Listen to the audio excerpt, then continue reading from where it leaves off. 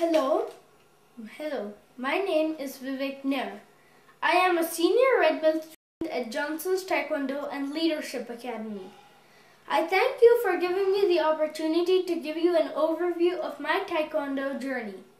In the summer of 2008, when I was 8 years old, my mother came across a flyer for Johnson's Taekwondo Academy lying on our doorstep.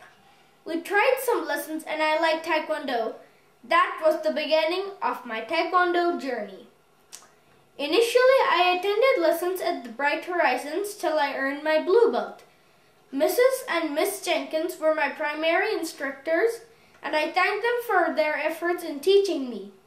Then I started attending lessons at the academy.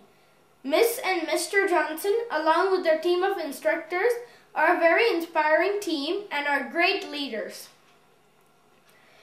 The first and most important, important things taught to me were the 10 tenets of Taekwondo.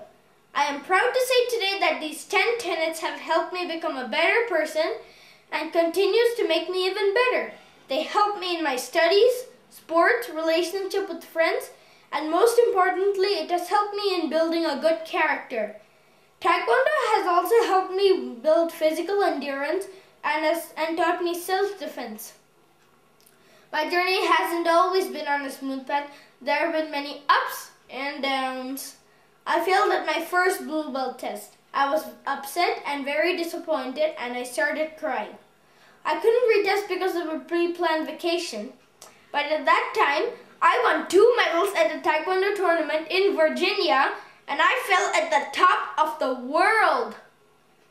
All the pushing, prodding, perspiration, inspiration, and support from my family and the instructors has helped me travel this far and today I stand in front of you as a senior red belt student.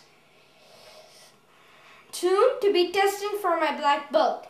Being a black belt is something that I always aimed for.